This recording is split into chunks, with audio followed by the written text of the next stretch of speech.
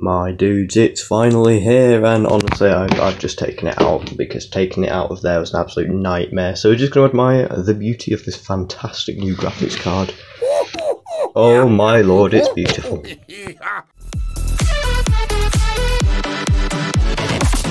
Right, so if we get 30 likes on this video, I'm renaming the forum page to Beyond Gnome, and there's nothing anyone can do about that. Hey, what's going on guys? My name is Gameslinx, so welcome back to Beyond Home. It has been a really long time. Now, this episode, I want to build a plane. I said, I think I mentioned in the last episode that ah, I have a lot of science and I want to save up, but no, we're going to build a plane because I've messed about with the camera already. I'm too used to building rockets.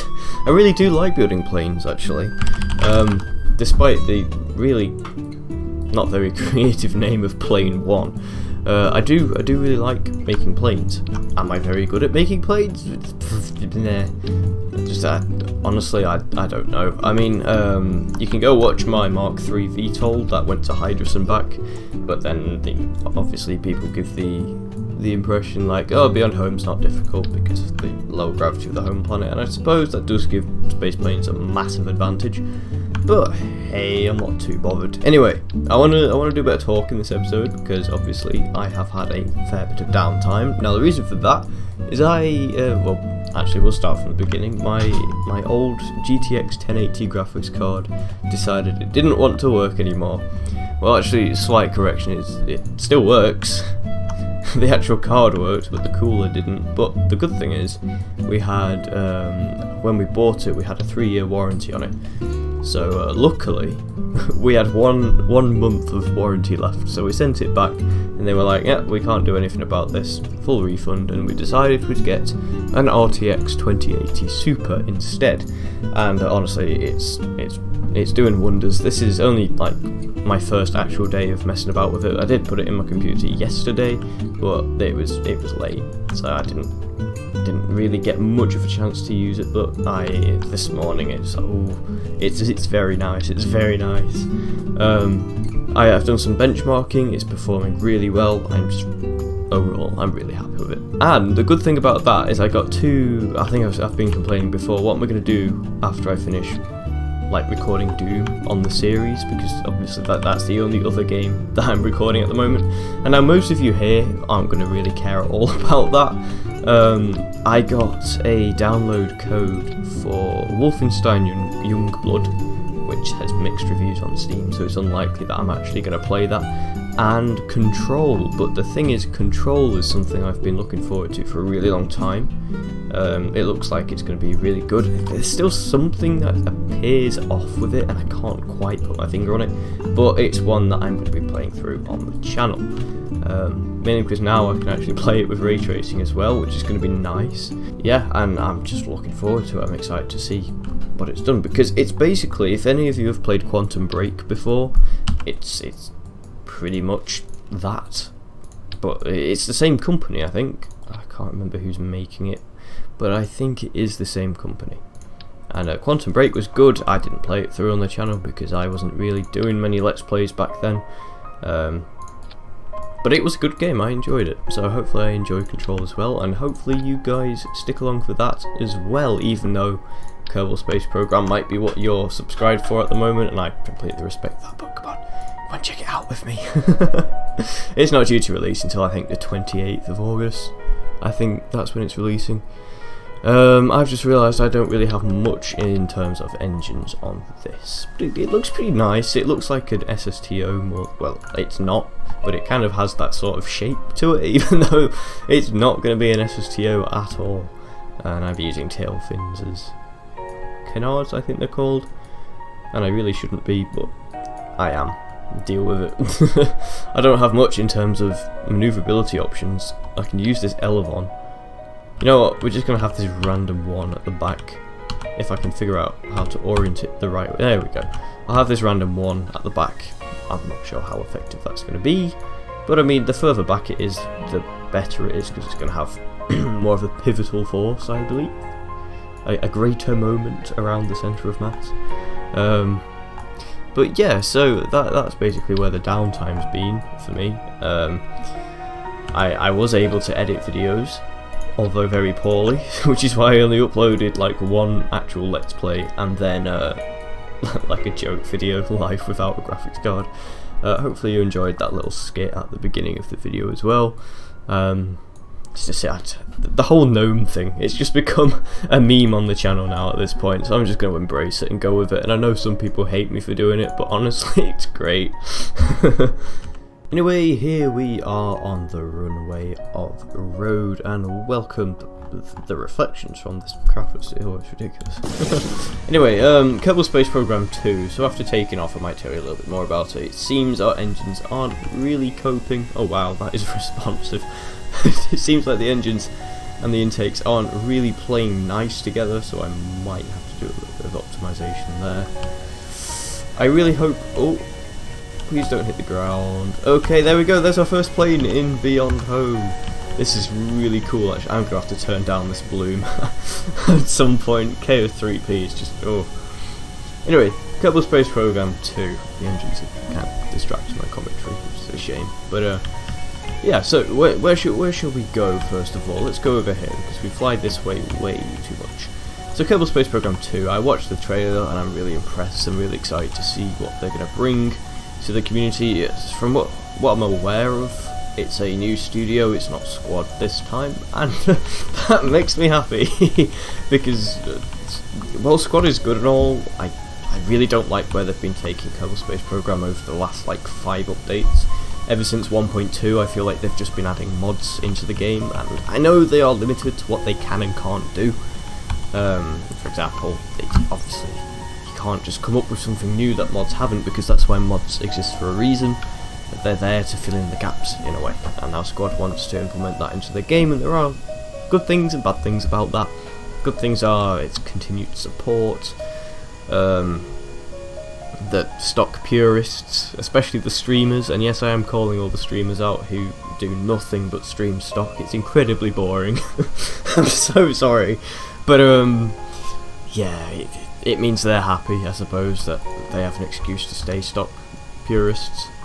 But um, in in more seriousness, I, I, it's nothing new, and so if if you look at if you just go onto Google Trends and type in Kerbal Space Program, you'll see it's been really dropping in terms of popularity um, over time, and it's it's shot up after Kerbal Space Program 2. But uh, Kerbal Space Program 2, it's it sounds like it's going to be really good. A new studio who seem very passionate about what they're doing based off their development video I know promotional videos aren't really much to go along by because it's it's kind of what they want you to see. But um, I, I have confidence. They have confirmed no microtransactions, or at least, well, actually no, they haven't said no microtransactions. They've said there's not going to be loot boxes, which means you might have some, but honestly, it's it's a Kerbal game, and it's a single player game as well. There is no point adding microtransactions, so I don't think they're going to do that. Um, it should be more optimized, the physics engine should be a lot better because Kerbal Space Program's code is a mess, so I've been told. Um, I don't know what's happening with the planet system and how that's all working. Now then, are we going to be able to get over this mountain? What Basically what I came over here for was to show you guys this cave. Not many people have seen it despite it being so close to the Kerbal Space Center. But uh, here it is. I, I don't think the terrain's really changed. Yeah, there it is. There's the cave. It's, it's just the regular old stock cave, and I just added it in using Kerbal Konstructs, but I think it's kind of cool. And I think, unless I've removed it, over here there should be some sticky, outy, pointy triangle things, which is another one of the stock monoliths, but I decided to put it on one of these mountains for, just for laughs. I, I don't know whether it's actually still here or not, but I'm excited for Kerbal Space Program 2. Obviously, I do want to mod it. I do want to do some planet modding if possible. I sent the bin email. Uh, I sent what they even called the the new company. It, has got star in it. That's all I know. Um, I think Private Division got back to me. I emailed one of the companies and then some representative for Private Division got back to me and they were like, eh, we can't really disclose much about the uh, the planet system. I'm paraphrasing by the way. They're saying we can't really disclose much about the uh, the planet system, but we appreciate your effort going into modding and blah blah blah blah blah. A bit of that. So she's like, okay, fair enough. And uh, well, why am I retracting my line again? And that was basically it. Anyway, let's uh, not crash into the tree. I'm pretty sure colliders are enabled on them. let's deploy these parachutes and come to a nice, hopefully safe stop. And there we go. I, I, I spoke too soon there. Ah, uh, there we go. Yeah, that's fine. And see, that's why I use parachute, because if you bounce around, disaster. I'm telling you, disaster.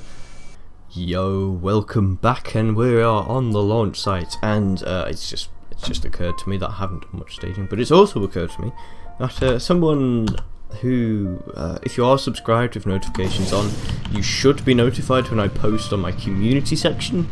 Uh, if you don't know where that is, just click on my channel, go uh, where it says videos, go go along to maybe, and it should say community, and you'll be able to see all of the quote unquote behind the scenes stuff, which is what YouTube calls it. It's really, it's not really, it's just kind of like a feed of what I'm doing. But anyway, I posted on there the uh, the new graphics card, an unironic version. and uh, someone was wondering, yeah, how, let me know how it performs. And I, I responded, I was like, uh, let me know what you want me to benchmark it in, and I will. And they didn't get back to me, so basically, I assume you're watching this video. So um, it it's really good. it's really good. I don't know exactly how to put it. It it runs Minecraft shaders at 4K, if that's anything useful. Uh, if it's more useful, um, this is Kerbal Space Program 4K running at 60 FPS on uh, max settings with visual mods. It it works a treat, and um, YouTube's gonna hate me for doing this, but if I do this, you can see it, it's it's nice and smooth. It's really nice, and I'm really sorry if the quality on YouTube just went way down. uh, anyway, this has a this rocket has a thrust weight ratio of 1.47 when it's full. Um, it's, it's a very short and stubby rocket. I didn't want to use a mainsail because that would have had a 2 thrust, uh, 2.5 thrust weight ratio and the skipper has a 1. So I just used the skipper and put some other engines around the side. You know, this gravity turn's not working out too well, so I'm just going to see how I can fix that. Um, this, this looks like I am going to get an apoapsis of 50,000. No, that's not too bad, actually, that's not too bad. And uh, also, Beyond Home, now I've got a new graphics card, I can actually develop Beyond Home again because without it, Kerbal Space Program was running at like 12 FPS. yeah, but Beyond Home development, it will be starting soon, not just yet because I, I just need to set everything up. But this new skybox, which I, I've I'm in love with the skybox. I'm really happy with it. It'll be coming soon, coming soon to a Planet mod near you. Enjoy. I hope you all like it because I, well, me and KSP Fanatic put a lot of effort into getting this ready.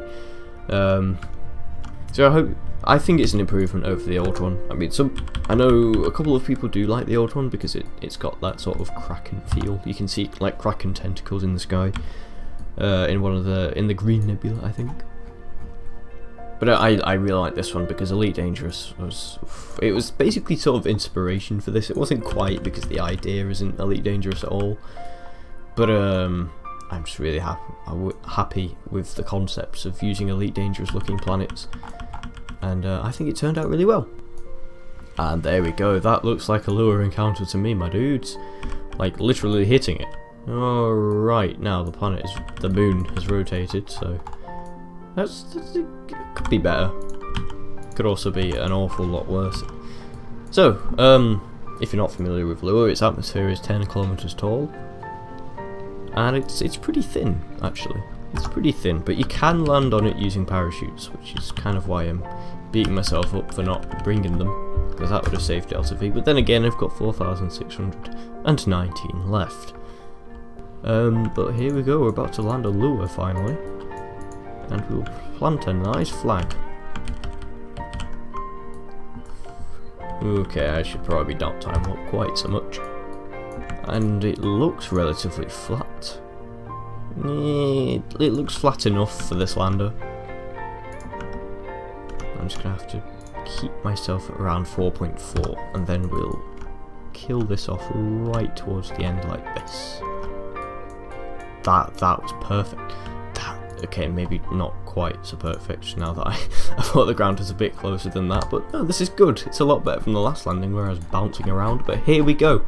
Landed on Lua. I really don't advise landing here, so I'm just going to plant a flag and just call it a void or something. right, anyway, I can see something over there that might look like it's ash, but I'm not I'm not too sure. I mean, I could whilst I was outside the craft. So if we look straight up, is Ash over there somewhere? Ah, it's Armstrong. That'd be why I could barely see it. Because Ash is a pretty big moon. And we are off. We are heading back to Rhode now. I might have to cut quite a bit of this out because I've been I've been recording for a fair amount of time. So I'll see you all when we get an encounter with Rhode. Alright, here we are. We are just entering Rhode's for It should be safe enough to just kill our velocity here and land in the daisy side for once. Then again, I am normally landing in the day side, but landing on the night is no fun, is it? Yeah, it looks like we could be fine. Get that down to mm, 3,000. I'm going to be... get a, a Do I have a heat shield, first of all? I think I do. We're fine. It's fine. We'll make it. This skybox, I am so happy with it. Look at that.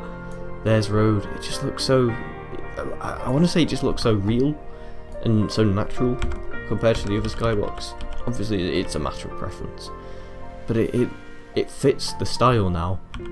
And I'm really happy with that because Elite Dangerous was the style that I was really going for this entire time. And it fits the style. it works. It works so well. Like all the textures, all the terrain textures and stuff, it's all in that sort of style. Anyway, let's slow ourselves down just a little bit because I still have 2000 Delta V to waste. So uh, I'll deploy all of this. That's a nice mountain over there which hasn't quite loaded in. Maybe if we do that. No. it just looks like a, a pyramid. Oh, it looks like we're going to land on a mountain. That's no fun. Right, let's actually turn the stage off before we decouple this time. there we go, now it's not going to hit us. And let's just move out the way in case it does. Nah, looks like everything's going to be fine. I'm going to change this altitude to 550. Oh, there's that stage hitting the ground. Ooh, that was close. And we're landing in a nice desert. But game things. All of Rhode is desert, is it not? I suppose. that would make sense. And here we are, we are back on Rhode.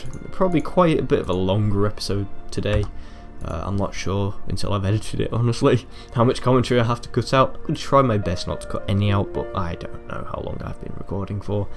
So, um, yeah, just a little bit of housekeeping this time. Um, we ended up with less science than we did previously, but we made a little bit of money. And uh, in in between episodes, I did upgrade the hangar and the runway, so we've just made a bit of that money back. Anyway, guys, thank you so much for watching this episode. If you like that, remember to leave a like and subscribe, and I'll see you all in the next episode.